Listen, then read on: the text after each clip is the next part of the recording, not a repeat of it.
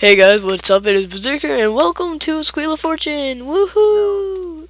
Shut up, Carson. I'm with my friend Light Sky Jump, and he just killed his friend on. No, didn't. Is he? Just, I'm telling. He, if he, I'm, I'm gonna make him watch this.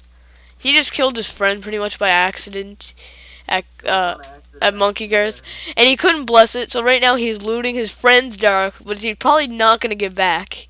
No, I will get back. I Shut up. No, okay. Anyway, so we were here to do Squeal of Fortune.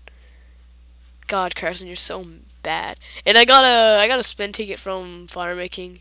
And if you guys haven't watched my new episode of Reaching Milestones, you really should. And I forgot to click it.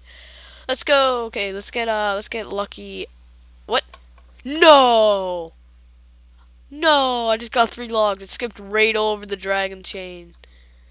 Let's see what I get. Let's get me uh let's get me an AGS or 10 mil. AGS.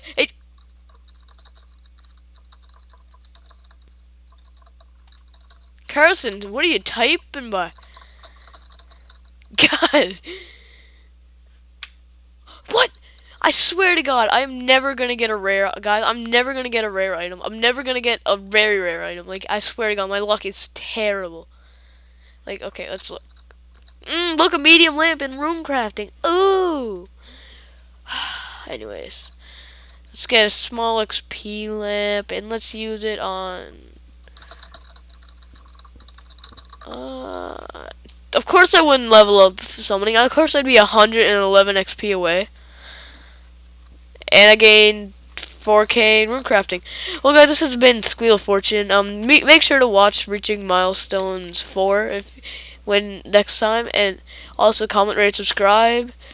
See ya. And Carson, you killed your friend.